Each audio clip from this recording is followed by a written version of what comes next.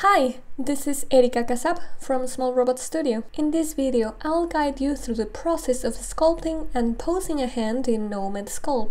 I'll show you some notes and references with average proportions on the side as we sculpt so you can break down any reference and find the uniqueness of each person. On a new project, set your camera to orthographic. We will start by blocking the palm with a sphere in low resolution. We will shape it like a box, slightly taller than wider, and with its bottom thinner than the top. Adding some resolution at the top where the fingers attach, with the project tool I'm gonna create a slide roughly at 45 degrees. When you compare both sides of the palm, the inside seems taller. That's the reason of the slice we just made. The palm isn't a flat box. It rises in the back, creating a tunnel on the inside, which I'll create by masking the center, reversing and blurring this mask, to then pull it with the gizmo. This cavity is a space for tendons known as carpal tunnel. Yes, this is the same carpal tunnel so many artists suffer from. The top of the palm isn't straight either. It follows an asymmetrical curve taller at the height of the middle finger. Make sure you deactivate symmetry for this and the next stages. Hey, make sure that you are subscribed with notifications on. Otherwise, you might be missing out on the many tutorials that we release for free each week here on YouTube. We don't want to create just a floating hand. So I'm gonna create a section of the forearm. We will simplify it with a cylinder. The end that connects to the hand is thinner and boxier. Feel it on your arm. Closer to the elbow, it's squishy and round. Towards the wrist, the top and bottom are pretty much flat.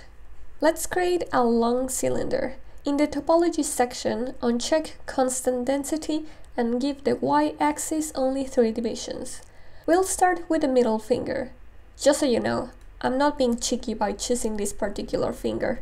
The thing is that from the knuckle to the tip, it's roughly the same distance as the height of the palm, so it's a good reference. Before I validate this cylinder, I'll modify its base to be wider because the fingers taper on the top. I'll add subdivision levels and with the paint tool I'll mark the half of the finger. This is where the first joint is located.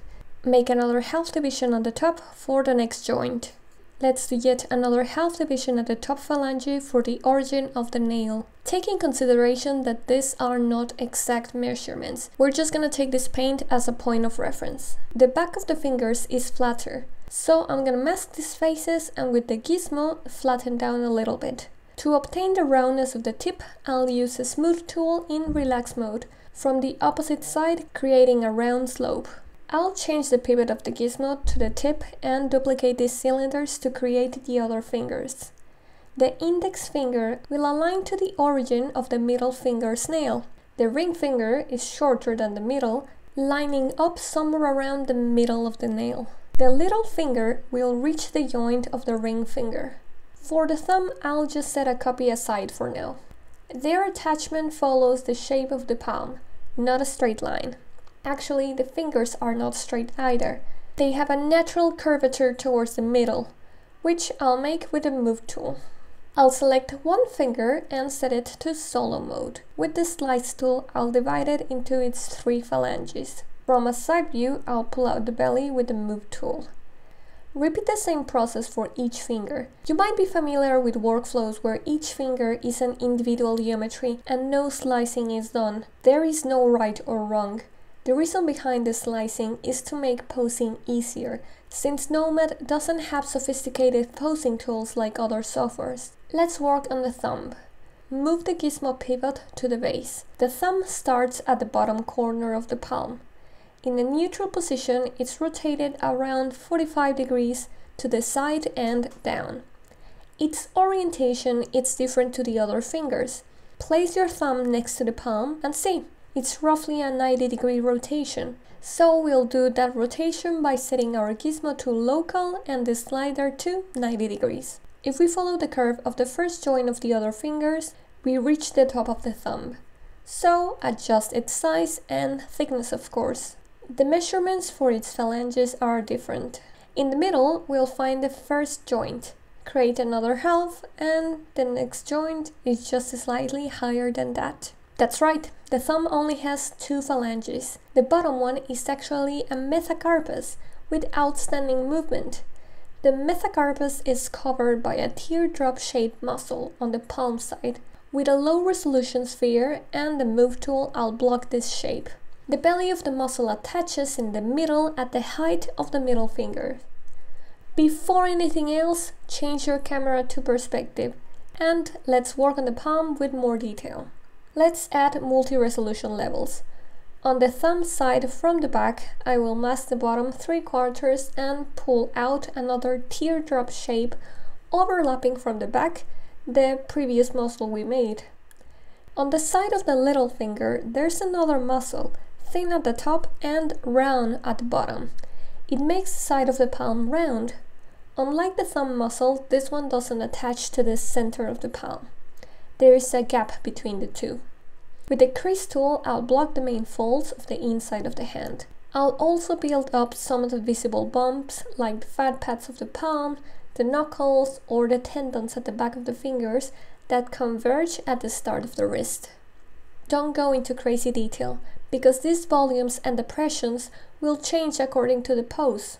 We have all the pieces, so let's pose this hand. Make sure that you save a copy of this stage. You might want it as a base hand for other poses or characters. Of course, our Patreon supporters can access my base file, every other step of the process, and a PDF guide with all the measurements we just reviewed. Become a supporter in patreon.com slash smallrobotstudio or buy the individual assets in our Gumroad store.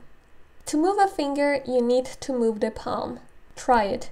If you hold your palm, you can only flex two phalanges instead of a whole finger. The palm is actually flexible on three of its four corners. The folds we made in the palm show us their area of influence. Most flexibility comes from the thumb, then the little finger, and finally the index. Bringing your palm to low resolution, let's use masks and the move tool to modify its shape according to how you plan to pose your fingers. Now, use multi-select by holding down smooth to select the different parts of the finger. Choose the gizmo and place a pivot on the knuckle. Now move and rotate your fingers. Now select the top two phalanges, move the pivot again, rotate, and so on with the last phalange. You will have to make rough adjustments of areas bulging out or being stretched. Use your own hands as reference.